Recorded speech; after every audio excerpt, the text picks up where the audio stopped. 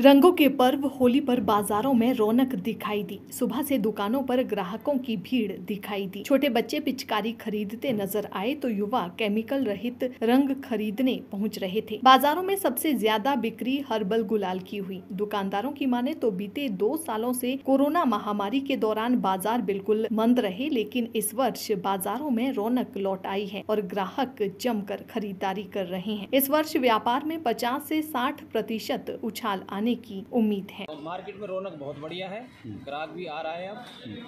पहली बार तो पिछली बार तो बच्चों को भी मना कर रहे थे माँ बाप ही। मगर इस बार जो है सावधानी के साथ होली खेली जा रही है होली का सामान भी बिक रहा है बढ़िया। थोड़ा महँगे होने की वजह से फिर भी बिक रहा है। एक डर था वो खत्म हो चुका है तो ऐसे में कितनी रौनक है बाज़ार में? रौनक बढ़िया है जी। इस टाइम थोड़ी सी कम है दोपहर का टाइम है शाम कल भी रौनक बहुत थी आज भी बहुत रौनक मिलेगी देखो। ग्राहक के क्या क्या कितनी सेल में कितना फ़र्क पड़ा है पहले से? नहीं पिछली बार तो थोड़ा सेल में फ़र्क था मगर इस बार जो है ग्राहक का पैर दोबारा वापस आ गया है। रंग हो गुलाल हो हर्बल गुलाल ज़्यादा बिक रहा है। ठीक काफ़ी सारी समस्याएँ रही हैं लोगों के बीच में। और इस साल होली का जो जोश है जो उमंग आप सभी को दिखाई दे रही है वो आपको सारे शहर में नज़र आ रही है।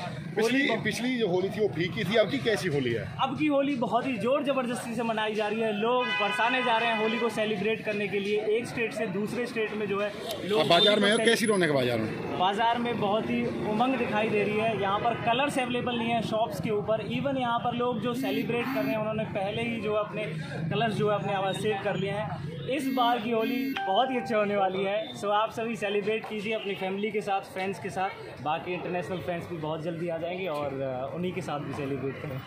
बहुत खुशी का माहौल है और ये हमारा सांस्कृतिक प्रोग्राम है सांस्कृतिक त्यौहार है जिसकी वजह से हमें बहुत खुशी होती है।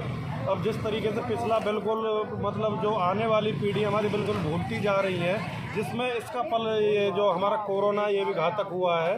लेकिन आज के टाइम में बच्चों में बड़ों में सभी को एक उमंग का त्यौहार ये हमारा रंग बिरंगा एक आप आए हो बाज़ार में तो कैसी रौनक है बिल्कुल बिल्कुल एकदम बहुत पहले जैसी तो नहीं लेकिन पहले से पिछले साल से बहुत अच्छी ज़्यादा रौनक है इस बार। किस तरह से मना रहे हैं लोग की बार होली।